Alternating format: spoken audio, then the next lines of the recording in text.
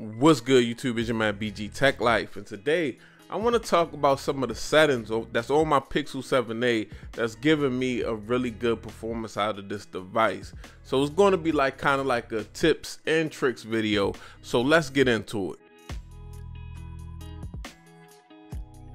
Okay, YouTube, if you've been following my series about the Pixel 7a and everything that's going on with Android 14, I actually want to take this video and kind of like go through the settings, some of the settings I like, some of the settings I don't like, some of the things that I change up to get the best performance out of my Pixel. And hopefully you guys maybe make your Pixel perform better after watching this video. Or maybe you can also let me know some tips that you know that I didn't cover. And you can leave them down in the comments. Okay, so this is going to be a very simple video, guys. First and foremost, we just to open up the settings and we're going to basically work through the settings together as a team and I'm gonna show you some of the things that's going on with my device and some things that I like. So let's just start off with network and internet because network is a big part of the performance of your device, the thermals of your device, and the speed that, you know, the internet speeds that you get. And what I'm currently, what my phone is currently set on, I'm on a 5G network, but I'm also on Wi-Fi. But if you go down to the bottom, adaptive connectivity, I have that turned on, and this has been working really well for me since I've been on Android 14 and 13, honestly.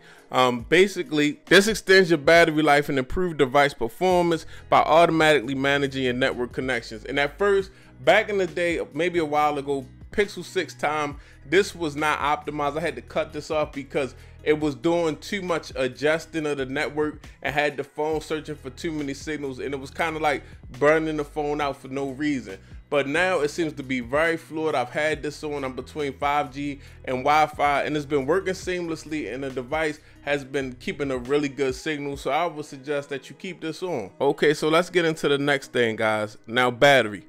Battery is big for everybody. I've been getting really good battery life on my Pixel 7a, especially since I've joined the Android 14 beta program onto the official Android 14. One thing for sure, two things for certain. One thing I should I think you should always keep on, keep your battery percentage on.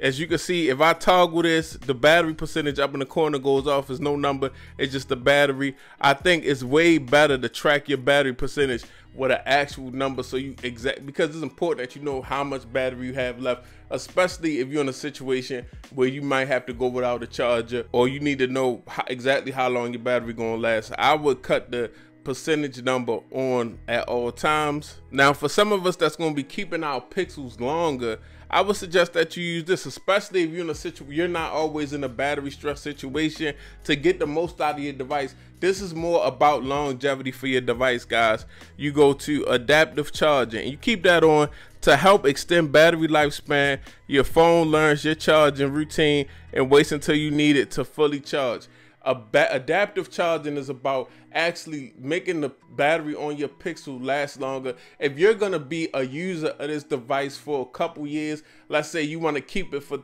some people keep their devices up to three years and things of that nature.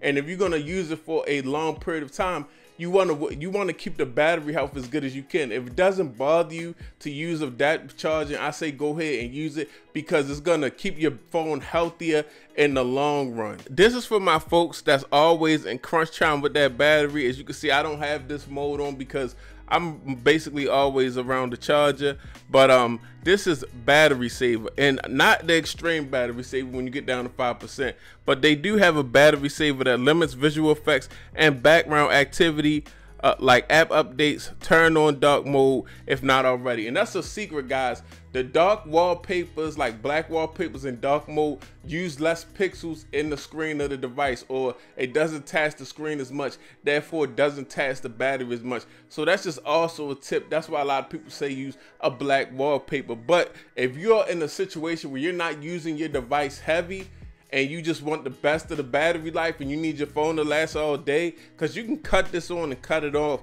as you need it i would really just cut it on like maybe if i'm busy and i'm doing things and i can't be on my phone i keep it in this mode so my phone is just not doing a lot in the background burning the battery. It's actually saving the battery while i'm not using it. And then when i want to use my device i can kick it on and have my fun or whatever. But that's just a little tip. The standard battery saving mode extreme is a little extreme so I wouldn't use that. You know, that's just basically for if you got 5% left and you stranded in the wilderness somewhere. Now we're going to display. It's one thing in display that's really big, guys, that I uh, like to use on this device. And I will say the biggest thing right now is the smooth display.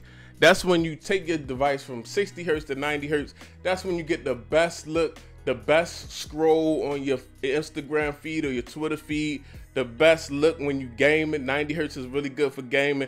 You know, a lot of phones, the flagship phones use 120, but 90 is definitely still a nice experience on this display. So I would say cut 90 hertz on. 90 hertz does test the battery just a smidge a bit more, but all my battery tests and everything I've been doing with this device and the good performance that I've been getting, it's still been able to get it with the 90 hertz on. So I really wouldn't worry about it too much. If you want a good experience with your Pixel, I would definitely cut that on because you want to use your phone. You want to enjoy. One of the good things about having a Pixel 7a from a Pixel 6a is you get a 90 hertz display. So definitely something that you want to cut on and try out and just experience the smoothness and see if you can notice a difference, especially if you game on this device. There are also other settings like you can go up to colors and basically this actually sets how your display looks. You can have a natural color, which is less saturated. Let me try to click that.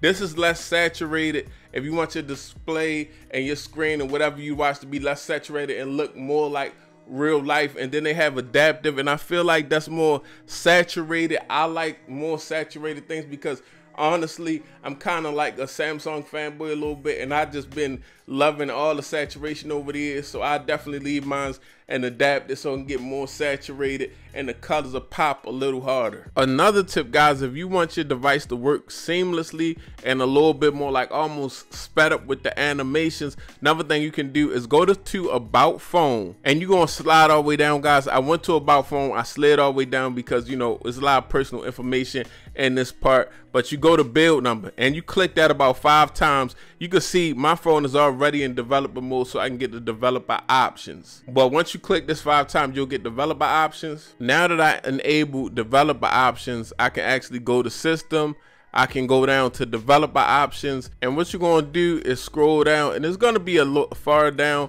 but it's going to say uh, window transition animations and things of that nature. It's going to talk about animations and we're going to want to change that. So hold on I'm trying to show you. Okay boom we got window animation scale we want to change the transition animation and the window animation. Now, as you can see, they're on one actually, and you could click on that and you could put it on 0.5 and then transition animation 0.5 and it'll actually speed up the time that the animations happen and it make your phone feel way more fluid than it already is. I definitely like that. I usually have that already set on my devices, but I had uh, master reset this devices for the update. I didn't put that on yet, but yeah, window animation scale and transition animation scale, you put it to 0.5 and things just seem a lot more fluid. As you can see, when I went back, it just seemed like double time. This is a little trick, guys. I haven't had to do it. I haven't had any problems with the under display fingerprint scanner, but on this device, and I've done it on previous devices, you can actually add the same fingerprint twice and that just doubles the amount of scans that the device has for a certain finger so you can get that flawless fingerprint unlock. It speeds it up. It's just got you know it's just a little trick of the trade right here guys. I haven't had any issues but sometimes it's just cool to do. So as you can see i'm just adding my thumb. It was all my thumb is already in there but it's just letting me add it again getting more scans and that way you know my under display fingerprint scanner be more seamless than it already is. But this your man BG Tech Life, and these just were some simple tips and tricks that I wanted to share with y'all so you can have a better quality of use with your Pixel 7a. If this helped you, make sure you subscribe and hit hit the like button. And if you got any tips that I should add, go ahead leave it down in the comment section. It's your boy BG Tech Life. Thanks for watching. I'm out. Peace.